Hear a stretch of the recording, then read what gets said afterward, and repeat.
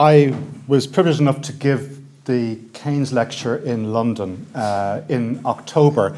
And given the nature of the occasion, it ended up being an excursion into the history of economic thought, which isn't actually my field. And in particular, I looked at the development of this doctrine of secular stagnation, which is a phrase that you may have seen mentioned in newspapers a few times since about November 2013, when Larry Summers uh, revived it. Um, uh, it's an interesting story, as it happens, how this doctrine came about. It involves the collision of a very old fashioned British tradition of economic thinking with a much more dynamic uh, version of economics that was uh, personified in by a fellow, a Danish American, as it happens, called called Alvin Hansen. And, and being an academic myself, I tend to get very interested by this kind of stuff. But don't worry, that's not what I'm going to be talking about. Um, it turns out that your views on secular stagnation might have an implication for how big you think the state ought to be. And that's the angle that Jill and Dan picked up on, and that's what I was asked to talk about. So I want to talk about secular stagnation and the size of the state, because I tend to do what I'm told, usually. Um, but I also thought I'd broaden it out a little bit given the nature of this audience and the fact that we're interested in Europe and so on, and that Europe's going through interesting times right now politically, uh, and talk about political arguments uh, regarding the role of the state. I'm going to suggest, it's not an original point, um, that states and markets should be thought of as complementary, not as substitutes for each other, as, as people on both the left and, and right would sometimes have us uh, believe. So um, let me begin by, oh, here's the pen, isn't it? By, by, by showing you this, this graph. Uh, it's uh, plotting world industrial output uh, during two crises the Great Depression of the 1920s and 30s, uh, and our own Great Recession. Uh, in each case, the graph is plotted where the sort of immediate, the peak immediately pre crisis is 100. So this is the blue line here. This is what happens after June 1929. So world industrial output, you know, as you can see, really collapses. You know, falls by almost forty percent until about 1933, and then there's a and then there's a sharp recovery. This is what happened during our own Great Recession. This is April 2008, following the red line now. As you can see, the first year of the crisis was as bad as the Great Depression, which was rather extraordinary. That's, that's the, the, the angle that we seized on at the time when we first started drawing these things. But then there was a very quick recovery after Gordon Brown saved the world, if you remember that. My, my kids thought that was funny when, when they heard that back in 2009. Uh, but anyway, we did do better this time around. But then what you can see is this is now 2010. The world's going Greek. Know, we're all afraid that we're Greek and so on. Uh, uh, reflation is replaced with austerity and so on. The thing starts to peter out. Uh, and at this stage, we've actually been overtaken by the Great Depression series, which is pretty bloody pathetic. Um, and it's not surprising that this secular stagnation uh, view of the world emerges when it does, in either the former case or in the latter case. So when Alvin Hansen uh, comes to Harvard from the Midwest, he's not at all a Keynesian, actually, before he goes. And he goes to Harvard, and all of a sudden things, things changed uh, dramatically, intellectually for him. So is it that he's in this, you know, Moscow on the on the Charles, uh, or is it that the world economy goes off a cliff just as he arrives? I think that probably had something to do with the fact that the world economy went off a cliff just as he arrives, uh, uh, just as he arrived in Harvard, and began to think, well, maybe there's something to this Keynesian business after, after all. Uh, and similarly, Larry Summers uh, revives Alvin Hansen's old uh, thesis which his uncle, by the way, Paul Samuelson, for those of you who are interested in the history of thought, had been very much involved in developing as it happens. So there's a, an element of filial piety here going on as well. He revives it in 2013, late 2013, when it's clear that our own recovery is sort of petering out just uh, a little bit. Now, what is Alvin Hansen's argument? I'll give it to you in words and then I'll give you some, some, some, some equations, but in words it's fine, right? So, one of the stylized facts about uh, long run growth is that the ratio of the capital stock to output is roughly constant. Now, it's not actually constant, it does vary, but it's roughly constant over the sufficiently long run. So, if the ratio of capital to output is roughly constant, they must be growing at the same rate. And if they're growing at the same rate, then the capital stock must be growing at the rate of GDP. And GDP, by definition, must grow at the sum of the rate of growth of output per capita plus the rate of growth of the number of capitas. right? So output in the long run grows at G, growth rate of output per capita, plus N, the population growth rate. And in most economic models, G, the rate of growth of output per capita, is somehow related to technological progress. So you can think of that as being a measure of the technological progressivity of the society that you're in. So the capital stock is going to grow at a rate G plus N.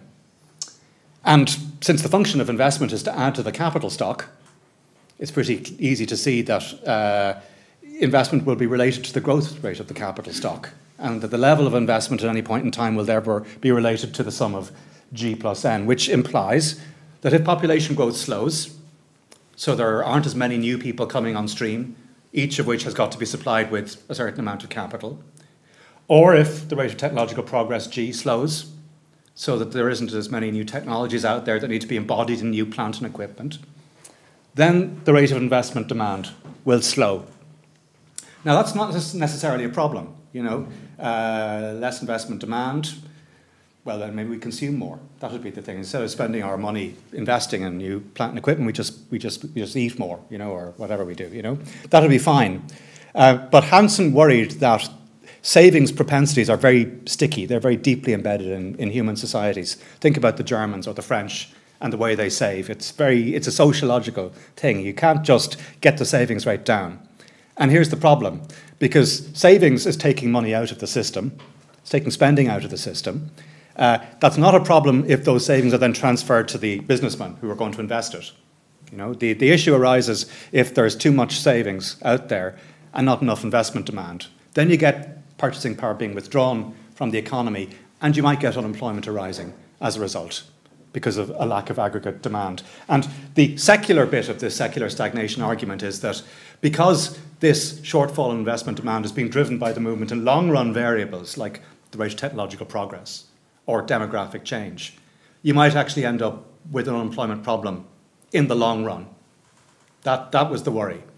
Now, what does the long run mean? I think it varies depending on whether you're British or American. I think that the Brits, because they lived on a small, crowded island, always had in their heads the vision of the world where there were sharply diminishing returns to everything because there's only so much land to go around, and so uh, there's sharply diminishing returns to labour, to capital, and everything else. So when they thought secular, they really meant secular. I think Hansen thought more in terms of long swings. So there'd be times when there'd be a technological upswing, you invent the railways, or invent the internal combustion engine, or the internet, maybe, who knows, you know. But then there are troughs as well. So Hansen you know, didn't have a view that we would be stagnating forever, actually, if you read him carefully. But he thought that there might be longish periods of time 10, 20, 30 years where there might be a shortfall of aggregate demand because it wouldn't be the investment demand to sustain full employment. And then the question is, what should we do about it? And he thought that government should get involved. And that, that's, what, that's what his conversion was in 1937 when he sees the world economy going off a cliff again, which shouldn't have happened, according to his old way of thinking. He thinks maybe government fiscal policy should step in. That's where he sort of meets Keynes briefly. I mean, if you want the same argument in, in, in, in letters, that's, that's how it works. So, investment as a share of uh, GDP is equal to, if it's net investment, the change in the capital stock divided by GDP we divide above and below the line by the capital stock. So investment as share of GDP is equal to the growth rate of the capital stock times the capital output ratio. And if the ratio of capital to Q is constant, then capital will grow at the same rate as output, which by definition is growing at n plus g. That's just saying the same thing as I said before, for those of you who like that sort of thing. So there's a, there's a claim here, there's an empirical claim. The empirical claim is that when demographic uh, change happens so the population is growing more slowly, and when technological progress is also slower, then you might have unemployment emerging over longish periods of time, you know, over maybe a decade. So that's a, that's a claim that you can test. It's a, an odd thing. It's saying if you have fewer children being born, if you have fewer people coming into the labour force, you might end up with more unemployment, which seems very counterintuitive, right? But it's happening because it, those extra people are generating a demand for capital that generates a demand for investment and so on. That's how, that's, that's how the logic works. Well, this isn't very scientific, it's just a scatter plot. Uh, here I have the sum of population growth plus the rate of technological progress plotted against the unemployment rate for various periods, sort of medium run periods, you might say. So there's the golden age of 1950 to 73, there's the interwar period, And you know, the, the claim is that when n plus g is higher, unemployment should be lower. And there, that there's clearly a negative slope if you look at the, the British data points, the blues. And actually, there's a negative slope as well. It's flatter, but there is a clear negative slope if you look at the American data points, with one, with one obvious exception here. That doesn't fit the story at all. And actually, we know why this is the case. Uh, the interwar period is an incredibly technologically progressive period in American history.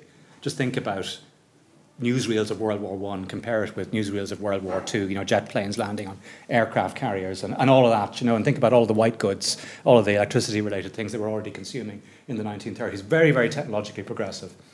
So this was just they just screwed up here. This is just bad monetary policy. You know, that's that's the exception in a way that proves the rule. Otherwise, the, the correlation between both of those lines is about negative 0.8. So maybe there's something to it. Maybe there's something to it. That's all I'm kind of going to suggest for now. So then you want to think about, well, what should we expect going forward? And actually, what I'm going to say is I don't know. I don't think economists can predict the future, but it's still you know, useful to think about these things. There are things that are more predictable, there are things that are less predictable. The things that are more predictable are probably demography. We have some notion of where population change is going to go in the future. Now, mind you, they thought that in the 1930s as well. Uh, demographic uh, change, you know, uh, population was at almost ground to a halt in uh, Britain and it was sharply slowing in America in the interwar period. And Keynes and Hansen would talk about this. And then what did we get? We got the baby boom. You know, so actually after World War II. So even something as relatively predictable as demographic change, you know, you can get wrong. But most estimates think that population growth is going to slow. I suppose most of us hope that at the global level, population growth does slow. Now, where is it going to be most of a problem? Well, we know where it's going to be most of a problem. It's going to be a problem in, in especially in Europe and Japan. So in Japan, population growth is already negative, as you know. And it's a very interesting question to ask in this kind of context. How do the Japanese manage to sustain such low uh, unemployment rates? You know, uh, investment demand should be low in Japan. It probably is low, and yet they're doing something right with their labour markets that they manage to keep unemployment down to three, four percent in a way that we're not managing in Europe. But but Europe is not far behind you know. And where is the, the demand for capital going to be driven by demography? It's going to be sub-Saharan Africa, pretty obviously. Uh, and so anything that we could do to make it easier for people to invest in sub-Saharan Africa would be good because that would provide a productive outlet for our, our capital. I'm thinking in global terms now because there's a world capital market these days. May not go on forever like that, but that's, that's the way you should think about it uh, for the moment. I think when it comes to technological progress, it's very hard to to foresee the future. I think it's impossible to foresee the future. There's a big debate right now about uh, whether the low rates of measured technological progress, wait my, you know, be careful about the words I use. These are rough guesstimates of technological progress. There's a lot of other stuff bundled up in these numbers. You know, as you can see, they're lower now relative to where they were during the sort of internet boom and so on, and the, uh, the technology boom of the late 90s, you know.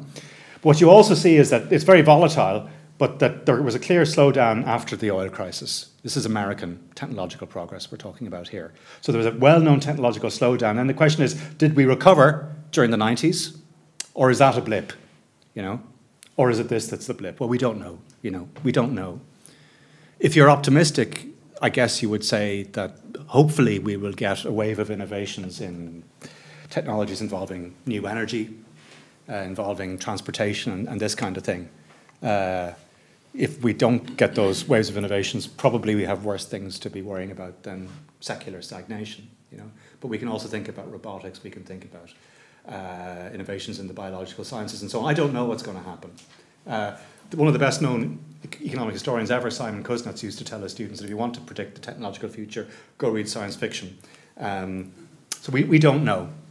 But we do know, I think, that, that population growth is slowing, and, and, and, and that is something worth bearing in mind. That those are all factors that are lowering the demand for investment, but they make secular stagnation more likely.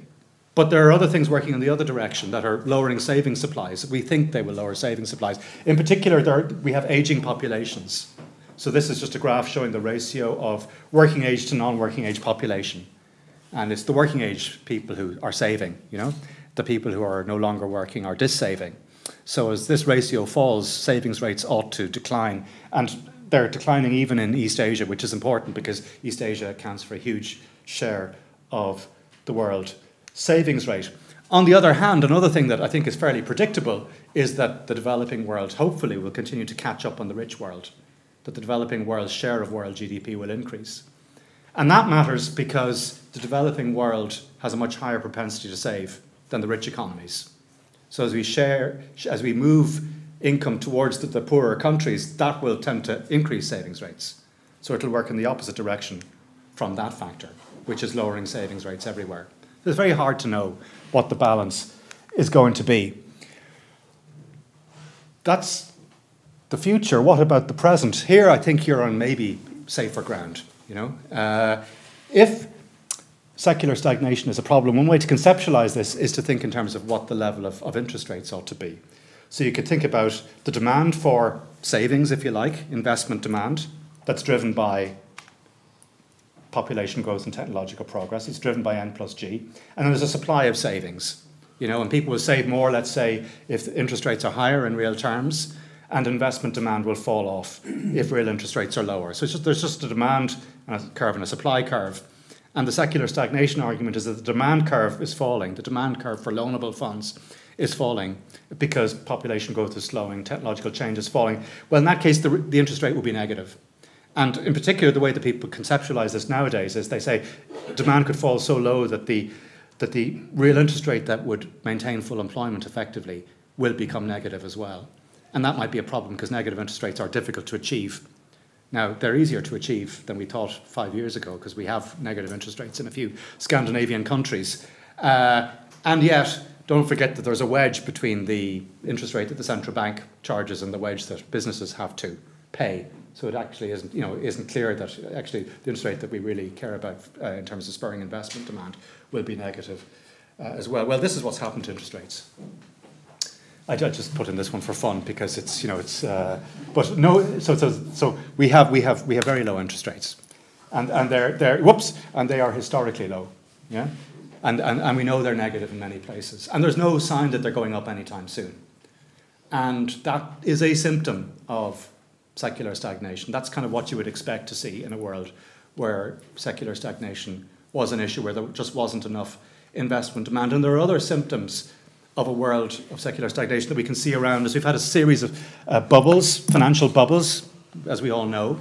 Uh, and that's maybe what you would expect to see happen in this kind of environment. You have not enough real investment activity driving, driving uh, the economy forward. And so, you know, what are you going to do with your money? Well, I, I, I, there's not enough real investment opportunities. So I invest in, you know, real estate or I invest in financial markets of various sorts, and you get a series of bubbles and busts. And as Larry Summers points out, the bubbles can sustain economic activity by sustaining consumption for a while, but it's not sustainable, and you end up in trouble down the line. So it's not mad to think that this might be an issue today, whatever your views about where we're heading in the future, and I honestly don't know, you know. Now, if this is a problem, then what should government do about it? The, ever since you know about the 1980s, 1990s, thinking about economic policy has sort of shifted. We used to think about fiscal policy and monetary policy being roughly equal, you know, having to do equal jobs. If there's unemployment, you'd lower interest rates, but you might also spend more money or lower taxes. Uh, I think it's fair to say that since the 80s or 90s, we've tended to think that monetary policy is really what ought to take care of all of this stuff. And particularly, you ought to set interest rates sufficiently low that you can uh, have full employment. But as I showed you earlier, it may be a problem to do that because uh, the interest rate that you would need to get back to full employment might be. And that's, that's a difficult thing to uh, achieve. Uh, well, what are the options? One option would be to engineer a higher inflation rate. Because if you engineer a higher inflation rate, then you know a zero nominal interest rate can translate into a negative real interest rate. And there are lots of respectable people actually who think that we should, for example, be thinking about raising inflation targets from two to four percent. You know, and I think that you know economic historians of the 22nd century, if they were to look back at today and say, God, that was a terrible mess they got themselves into, and can you imagine they had to have you know four percent inflation for a couple of decades? Well, you might think we'd gotten away with it reasonably cheaply. But there are people who doubt whether it's as easy to engineer higher inflation as is sometimes claimed. And if you take that view, then you might actually need fiscal policy. And here's the problem, which is fiscal policy typically means running deficit, deficits. You know, it means you know spending more money or lowering taxes. You're adding to the deficit. You're adding to debt. There are issues of financial uh, sustainability that uh, come into to play there.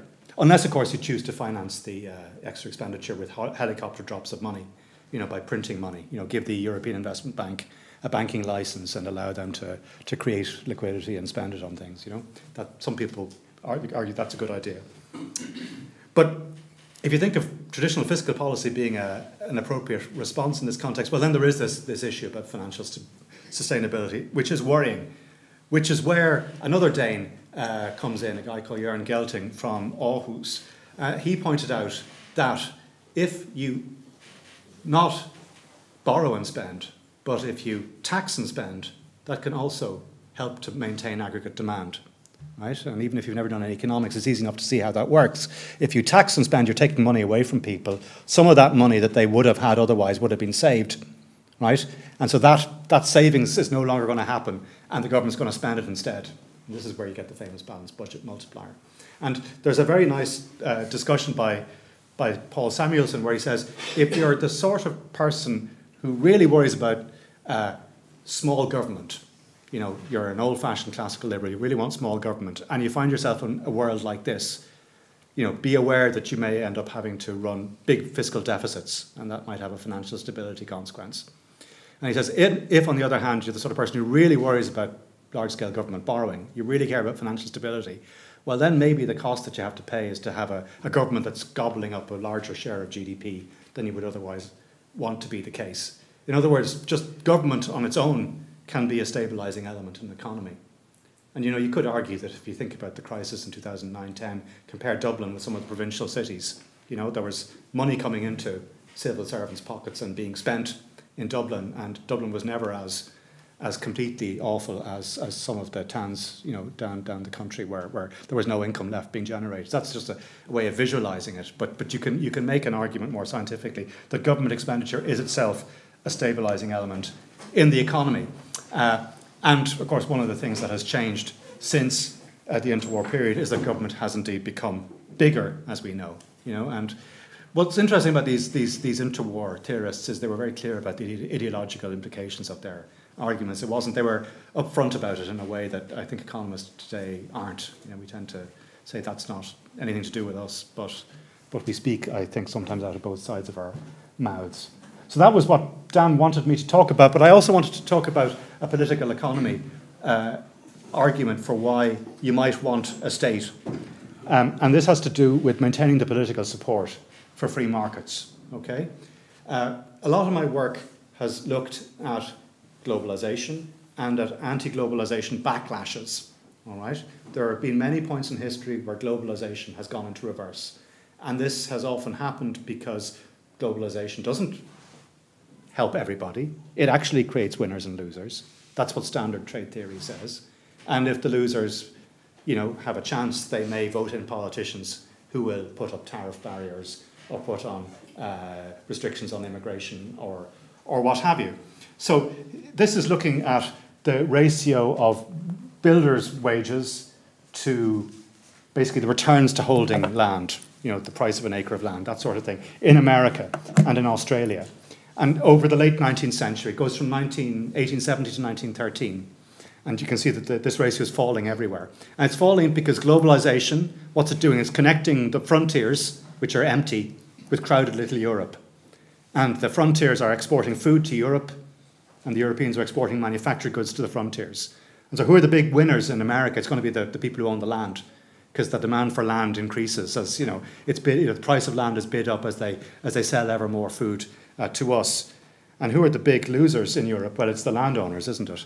Uh, because cheap food is going to drive down land rents. So this is a terrible time to be an aristocrat in Britain, for example. So in Britain, or Ireland, or Denmark, or Sweden, or you know any other country in Europe that you can think of, you find that the workers it's the opposite. Workers are increasing, seeing their incomes increase relative to the incomes of landowners. So it's good for workers; they get to eat cheap food. Bad for farmers, peasant farmers, Prussian Junkers uh, British aristocrats, whoever. What happens? Uh, in France, in Germany, in Italy, in Sweden, all around the continent, with one or two exceptions only, They, they, they moved from having gone in a free trade direction for about two decades to slamming on the brakes and they put on tariff barriers. And you can relate it very well to these income distribution effects of globalization. So globalization is undermining itself. Migration, same, same story. This is taken from a, one, one of my books. Um, but what, what do I want to show you? For example, Ireland here. So uh, between 1870 and 1913 in Ireland, uh, what is this saying? The emigration lowered our labour force by 36%. Big reduction. If you lower the labour supply by 36%, what's that going to do to your wages? It's going to, it's going to increase them a lot, we think by about, by about a third. You know, so we got a lot more prosperous uh, before World War One. it was largely because of emigration lowering uh, the ratio of workers to land and, and, and, increasing real wages. The problem is it's the opposite effect on the other side of the Atlantic. If you look at Argentina here, for example, uh, uh, emigration is increasing their labour force by 86%, you know, and that's going to lower their wages. Immigration lowered American wages, and so on. So immigration, uh, emigration is, is, is helping workers in Europe during the late 19th century. It's hurting workers in the New World. It's making Europe more equal because workers are at the bottom of the scale. It's making America more unequal because workers are at the bottom of the scale. Um, this is what happens to immigration policy in a bunch of countries uh, in the New World during this period. Basically, this is an index of how open you are to immigration. So, completely open, completely closed. And what you can see, there's differences in timing, but on average, uh, they're, they're becoming more restrictive.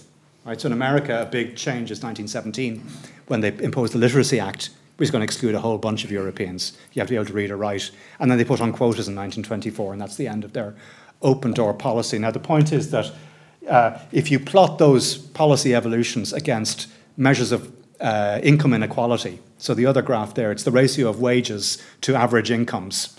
What you find is that there's a pretty clear correlation that emerges in the data. These countries, workers are seeing their relative position in the pecking order decline and guess what happens? These countries start putting on barriers to immigration. There's another dimension of globalization that undermines itself because of its effect on income distribution. Now, are there analogies today? Well, let's leave migration aside for the moment. You can obviously, you know, that's an obvious one that comes to mind. In terms of trade, the big thing that's changed uh, since the 1970s, uh, but really only since 1980, is that the North is importing manufactured goods from the South rather than primary products. So we used to import primary products, uh, you know, food, raw materials of all sorts. They were essentially complementary to our, our own economic activities, but now they're competing with us head on in manufactured in manufacturing. Now, head on, that's you know, so so what's happening is we're shifting out of various lines, that like televisions, which we no longer produce, and so on. But but still, there's more competition than there would have been back in the 1950s or the 1850s. So this is a major shift. So who are the equivalents of today's uh, today of the European landowners of the late 19th century. I guess unskilled workers is who most of us uh, would think of.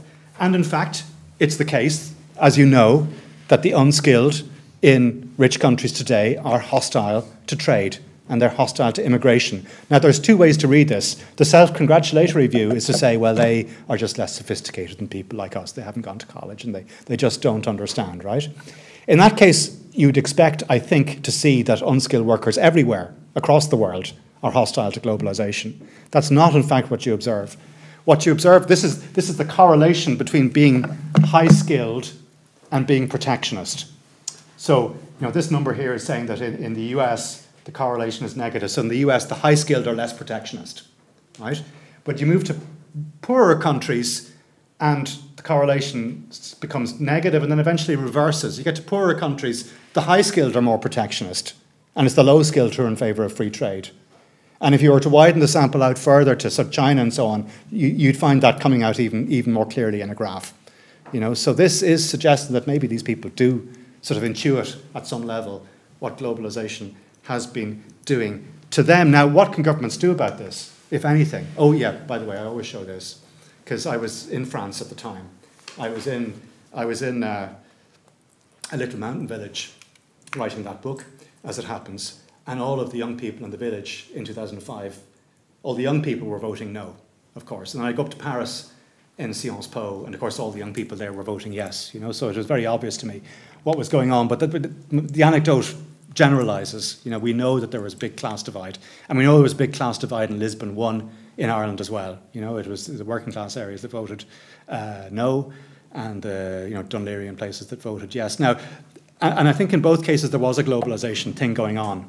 I know that the constitutional treaty was actually about rules and so on, but it became a vote about the market, about delocalization, as they call it, about the Polish plumber, and so on. And polling suggested that in, in, in, in you know, the west of Dublin and so on during Lisbon 1, immigration was an issue at the door. And we certainly found a big correlation between hostility towards immigration and voting no, uh, myself and Richard Sinnott, when we, when we looked at that.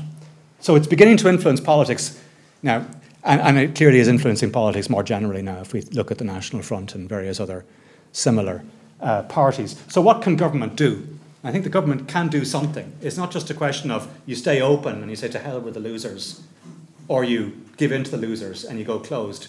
Governments can maybe do things to maintain enough political support for markets that markets stay generally open. So, again, I'll take you back to, to my period, the late 19th century. Governments can do two things there's a regulatory state and there's a fiscal state. What you find in the late 19th century is that they make all sorts of moves towards providing better worker protection. Uh, you know, so night children, night work for children prohibited, you know, factory inspection acts, all that kind of stuff. And they come in right across the board during this very globalized period. And even more sort of significantly for the future is they start bringing in uh, various sorts of social insurance protections. Uh, so not just uh, injury compensation, so on, but unemployment insurance, uh, old age insurance. You know, so so your homework for today is to go back to the censuses of 1901 and 1911 and see if uh, in your family also it is the case that your, your ancestors uh, added more than 10 years to their age between 1901 and 1911 because, because that certainly was true in the O'Rourke's, I'm afraid. Uh, and it was true, I think, generally, and not just in Ireland either, by the way. You know, it's not just an Irish thing. So they brought, well, they brought in the pension, yeah be aged by more than 10 years. But the point is, you know, this is the sort of thing that might possibly maintain support for open markets, right? Insurance, markets are risky, you know, insurance reduces risk. That's, that's kind of the point. And yeah, if you look at who the countries are that are going to the fore in this, uh, it's it's the smaller, more open countries. It's the Belgiums, it's the Denmarks, it's the it's the Swedens, and so on. Those are the ones who are bringing in, in, into into being the, the, the, the really heavy social insurance programs, uh, and so on. So there's no sign of a race to the bottom here, you know, because that's something that you often hear. You know, globalization. We'd like to do all these things, but globalization means we're so it's things are so tough and competitive that we just can't, you know, tax so as to provide these sorts of services. Well, that's not how it worked back then. Actually, it was the smallest and most open economies that did uh, the most in the way of taxation. And sometimes there was actually a race to the top. So there's a nice example of a treaty between France and Italy in 1904. The issue was that Italian workers were coming to France to get social welfare benefits. So what do you do? And, you know, because the French could have just kicked them all out. That would be a perfectly reasonable thing to do. Uh, instead, what they did is they said, we will allow you to continue to migrate here, but you will put in place the same social welfare protections in Italy as we have in France, so there won't be welfare shopping. You know, so that, that's a nice example where actually competitive forces and globalization led to a sort of race to the top, if you I mean, it's a bit normative, the language, bottom and top, but you know what I mean. Um, and it's not just a 19th century story, is the point. It's a late 20th century story as well. So this is a famous graph taken from Dani Rodrik.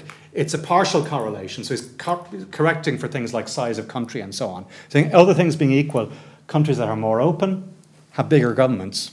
So no, no sign of a race to the bottom there as well. So what's going on?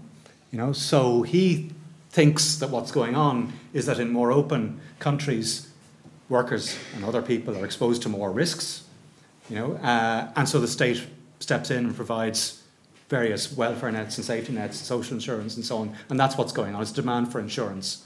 So you know, think about you know Denmark maybe being the prime case. They've been very, very globalized for you know 150 years, and they have this flexicurity that we all talk about and and so on, right? So so markets and social insurance oftentimes go together um, because of the demand effect. Now, the, the people who are worried about or, or who look forward to a race to the bottom, I guess, emphasize the, the cost of providing social insurance, right? That you know it may be more difficult to sustain high tax rates because you, you lose mobile capital or whatever. What what that graph shows us is that at least through the 1990s, the demand side effect was was outweighing this this this, this cost of providing uh, insurance effect. But that's no reason to think that this will necessarily continue to be the case in the future. However, what I would just point out, okay, you can't see those numbers. I, I saw, I'm sorry, but has there ever been a group of countries more closely uh, integrated economically in world history than the member states of the European Union? Probably not, right? Completely single market, single capital market, common labour market in many ways. You know, there, there's never been more globalisation than the globalisation that unites these countries, and yet there are countries like ourselves that you know tax about 30%, a little bit more of our income. There are countries like the Danes that tax 50%, and we all seem to manage to cohabit. So I think that the you know the notion that states are are uh, are, are, are handicapped that they can no longer act in a globalized world because of globalization is is overdone. Actually, you just look at the different choices European countries are making, and that proves the point. You know, or if you if you you know, if you think about, say, Cyprus uh, putting on capital controls, if you want to do it, you can do it. You know, it's just a question whether you want to do it or not, whether the costs or the benefits are greater. So it's time for me, I think, to sum up. Um, and I think, what, yeah, what I want to say is that there is a tendency on both the right and the left to view states and markets as, as, as, as opposites. You know, you have more state, you have more market. And I think that's the wrong way to view it. Uh, if you think about Keynes himself, he was actually deeply conservative. We think of him as a lefty now, but he was actually deeply conservative. He was writing in a world where communism was a real alternative politically, where the suppression of private property was a real alternative, where governments getting involved in the minutiae of running the economy was a real alternative.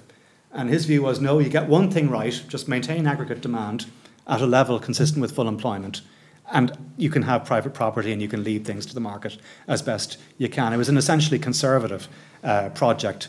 And similarly, the people who set up the welfare states in Europe after World War II, I mean, they were they were not revolutionaries. That's the whole point. They were not revolutionaries. They were essentially conservative. You know, the social democratic project uh, was all about maintaining support for markets ultimately. And so uh, that's, the, that's the line I, I, think I would like to push that if we go too far in the direction of the market uh, and at the same time suppress all of the things that can help maintain political support for market, you risk having a backlash.